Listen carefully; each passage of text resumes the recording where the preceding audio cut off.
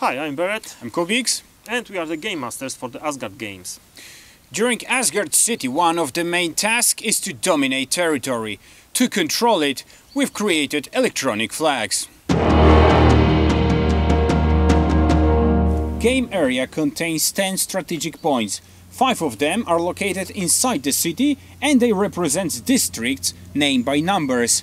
District 1, 2, 3, 4 and 5. The other five flags are scattered in the forest around the city. They are called South Outpost, North Outpost, Ammo Depot, Bunker and Sturrock Airport. The game starting conditions are that all city districts belongs to Erimor while all forest flags belongs to Ostravia.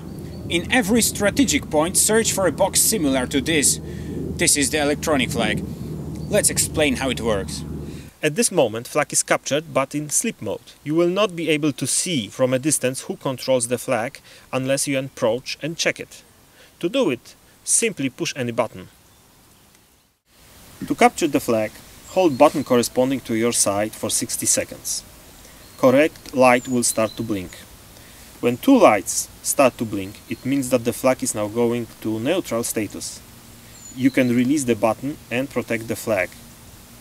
During that time, a single push button of the defending side will instantly break capturing process and return flag to the previous owner. After 5 minutes, flag is neutral and ready to be captured. Press your color for another 60 seconds until your light flashes constantly. Now you control the flag.